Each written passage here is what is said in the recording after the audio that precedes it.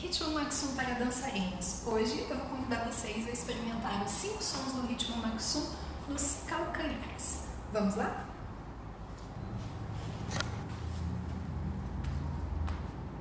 Vamos começar trabalhando com a técnica do calcanhar. Eu vou erguer aqui um pouquinho para vocês olharem o movimento do calcanhar. Você só vai tirar e bater o calcanhar no chão novamente. Então, na técnica intercalada, a gente vai começar com a perna direita e vamos trabalhar lá. Dum, tá, tá, dum, tá. Dum, tá, tá, dum, tá. Começando pela perna direita, dum, tá, tá, dum, tá. Começando pela perna esquerda, dum, tá, tá, dum, tá. Depois nós vamos trabalhar com a intercalada simultânea. Vamos abrir um pouquinho mais as pernas, vamos deixar o peso no centro. Quando eu for fazer a marcação na perna direita do dum tá, o peso vai estar sobre essa perna. Dum tá, transfere o peso, tá, dum, e finaliza no tá.